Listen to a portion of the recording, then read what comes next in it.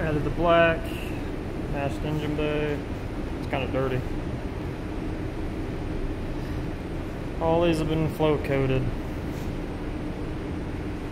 A few pieces of dirt, but not bad for old booth. Came out just as slick as the car.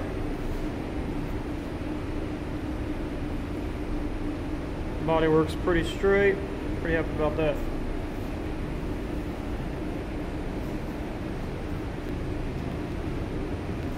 Rest of the small parts.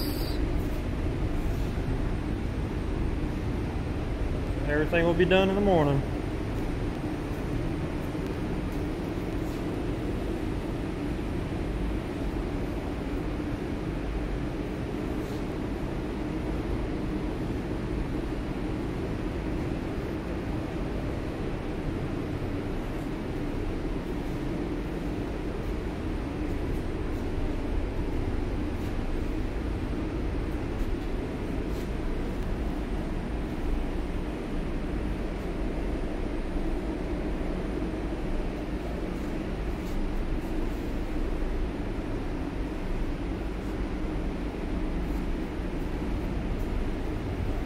Who wants to come buff?